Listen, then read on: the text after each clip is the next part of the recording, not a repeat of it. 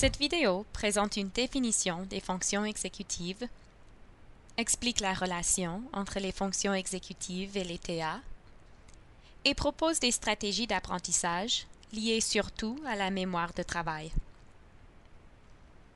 En termes simples, les fonctions exécutives sont les processus mentaux qui permettent de gérer nos comportements. Elles sont des habiletés neurocognitives qui impliquent le contrôle mental et l'autorégulation. Nous utilisons les fonctions exécutives quand nous exerçons des activités telles que planifier, organiser, élaborer des stratégies et se rappeler. Bien que les fonctions exécutives ne soient pas directement liées aux matières d'enseignement, elles sont nécessaires pour réussir à l'école et dans la vie quotidienne. Les fonctions exécutives incluent la mémoire de travail, le contrôle des impulsions, le contrôle des émotions, la flexibilité mentale, la concentration, l'initiation de tâches, l'organisation, la planification et l'auto-évaluation. Les difficultés liées aux fonctions exécutives se manifestent souvent quand les élèves font la transition du cycle moyen au cycle intermédiaire.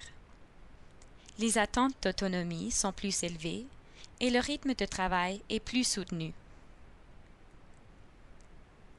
Des problèmes de fonctionnement exécutif sont souvent liés aux conditions telles que le TDAH, les troubles de l'humeur et les troubles d'apprentissage.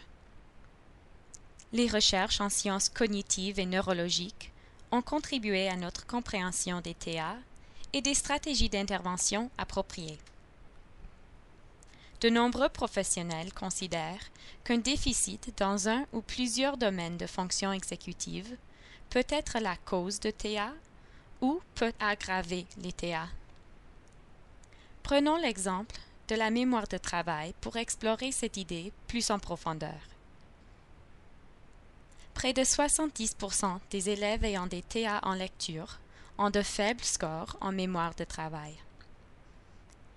Ils peuvent éprouver des difficultés à suivre les directives, à conserver et se souvenir des informations, ainsi qu'à comprendre les séquences.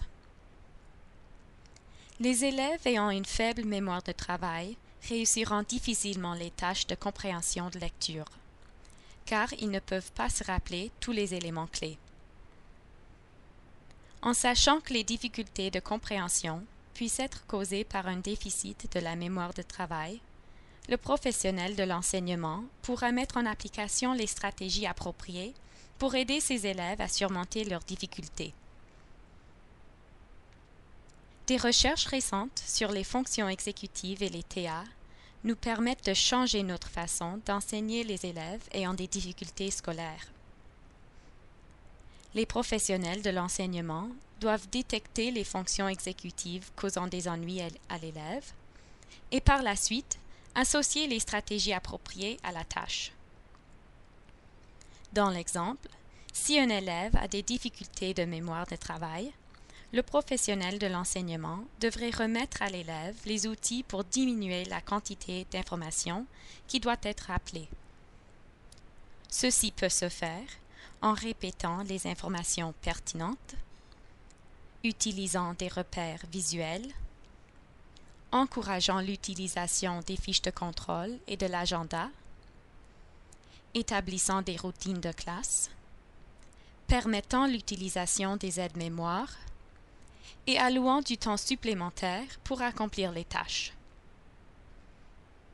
D'autres stratégies incluent réduire les distractions environnementales, simplifier la structure du langage des consignes orales, coupler les instructions orales et visuelles et encourager l'autodétermination.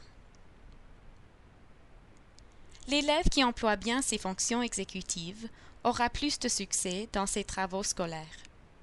Cependant, si le niveau de complexité augmente, l'élève aura possiblement besoin d'appui pour trouver des stratégies plus efficaces.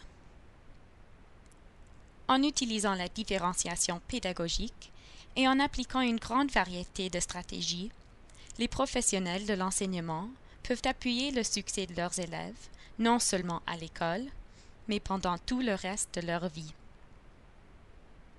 La prochaine tranche du module couvrira la littératie.